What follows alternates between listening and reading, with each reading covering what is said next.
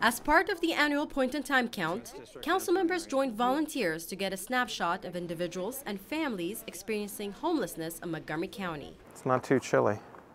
We joined Council President Evan Glass in downtown Silver Spring for this annual census. And I don't know if I asked you all before. Have you done done this before? Never. No. What made you want to to participate tonight? You know, help out where we can. That's right. You know, it, it is one of the most impactful things I do every year, uh-huh.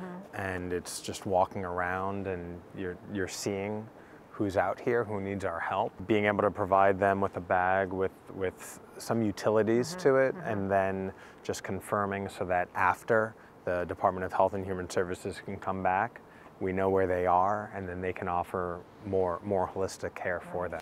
In 2022, 581 people were counted as homeless, which was down by 31% since 2018. Uh, the Housing Justice Act, which at its fundamental, we have to recognize that housing is a basic right. Council President Glass, a proponent of ending homelessness in Montgomery County, introduced a legislation that would help reduce and eventually eliminate homelessness. It was recognizing that people who experience homelessness sometimes are uh, arrested or go through the criminal justice system for being homeless.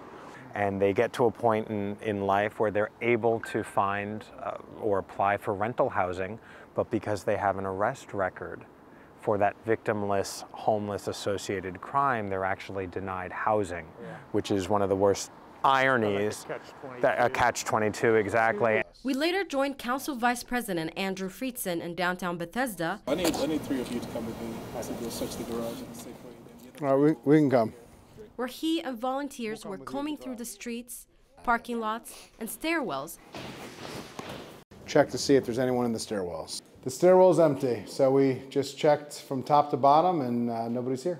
in search of folks who might need assistance. Right now, uh, gentleman was not interested in speaking with the team who went out to interview him, and so uh, he's still captured in tonight's point in time count, uh, but as an observation, not as an interview.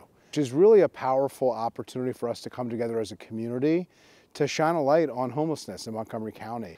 Uh, we uh, have found five people, and including one who uh, I think for the first time we're able to engage.